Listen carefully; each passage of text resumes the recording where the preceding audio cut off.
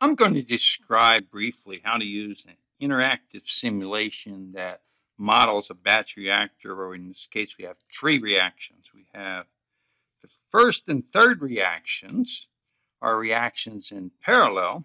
The first and second are reactions in series. And then what the simulation plots is the concentration, starting with a feed that consists of A and B. It plots the concentrations as a function of time.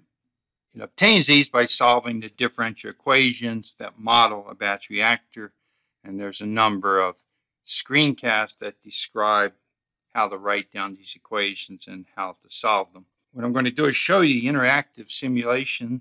I've given you the location here in blue of this simulation. You can use it on your own.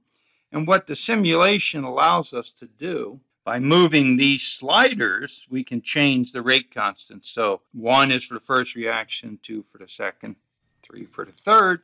The other thing we can do is we can select to just plot the concentration of A by clicking button for A, or just the concentration of B. And here I've selected concentrations of all of the species in the reaction. Let's switch over now to the interactive simulation. So here's the interactive simulation in which we're plotting the concentration of all the species for these three reactions. We could just plot the concentration of B or the concentration of D. And then what we can do is change the rate constant. So if I change the rate constant of the last reaction, then I have a lot more E because A is not reacting away to D before the first reaction can take place. I can change the rate constant Again, the first reaction, and likewise make more E, and I can change the second reaction. So, so this gives us an idea of behavior in a batch reactor, isothermal reactor with multiple reactions.